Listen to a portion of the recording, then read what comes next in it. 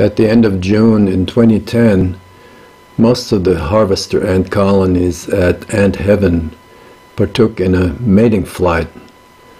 Uh, mating flight in harvester ants is a very frenzied affair. You can see that workers have uh, spread out from the nest disc a couple of meters away.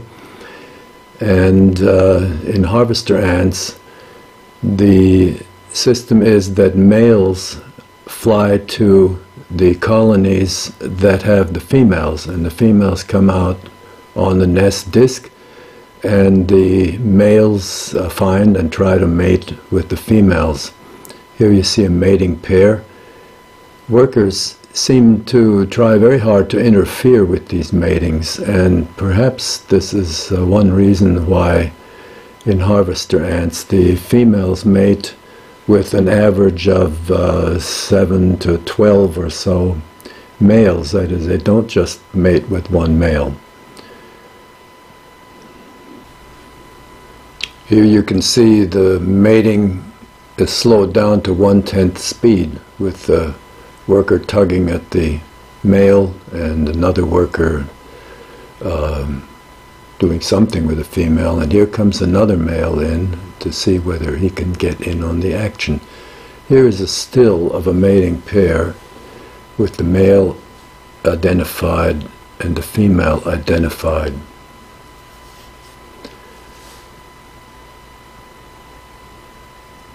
This is at normal speed and you can see it's it's quite a frenetic affair. Here it is slowed down to one tenth speed.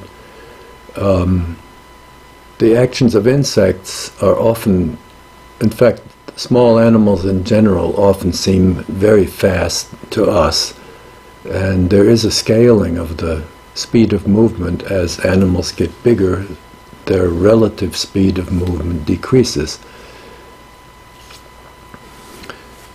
Males are continually running around patrolling the surface of the of the uh, nest disc, um, thereby bringing them into contact with mating pairs. And here you see workers apparently trying to break up this mating pair. They do occasionally succeed. The male flies off and tries to find another female to mate with.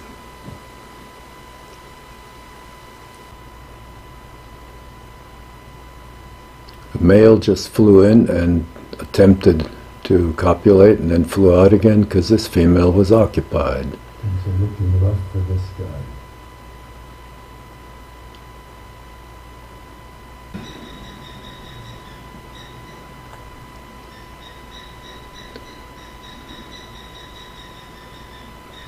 Sometimes the balls of males, females, and workers get pretty large.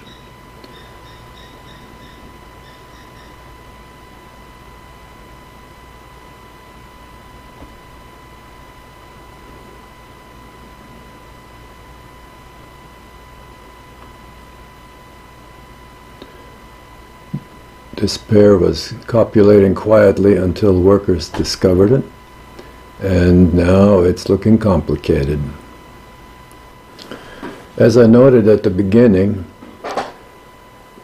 males leave their natal nest, fly to the female nests, and uh, mate with the females there.